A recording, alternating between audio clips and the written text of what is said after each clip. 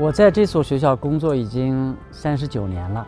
一九七八年，我进了南京小庄师范学校就读。伟大的教育家陶行知先生辞去大学教授的职务，一心一意为农民办教育的精神呢，深深地打动了我。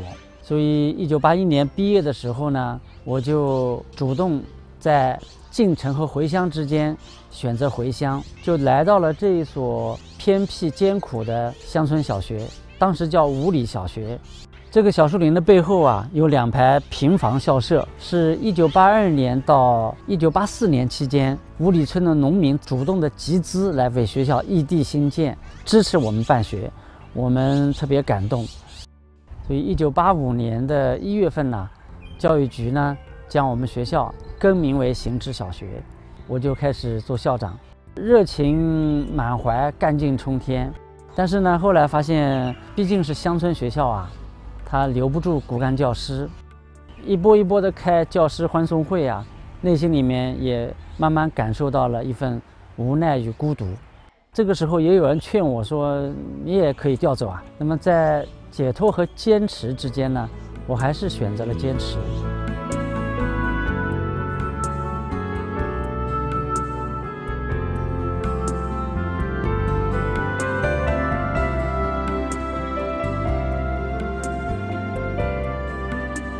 这片小树林呢，是三十多年前我和当时的学校老师和同学们一起栽下去的。它有的长得很粗。有的还很细，那么但是在我们心目中呢，都是宝贵的。所以在学校里面呢，像爱护每一棵树一样的爱护每一个孩子，这成了我们一个重要的教育信念。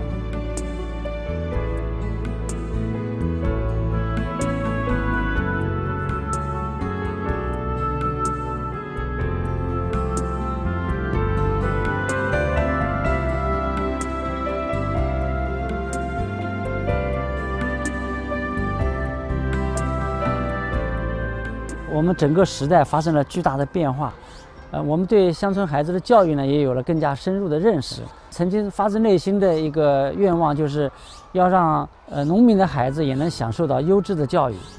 现在看起来呢，其实，呃，我们还可以做得更多。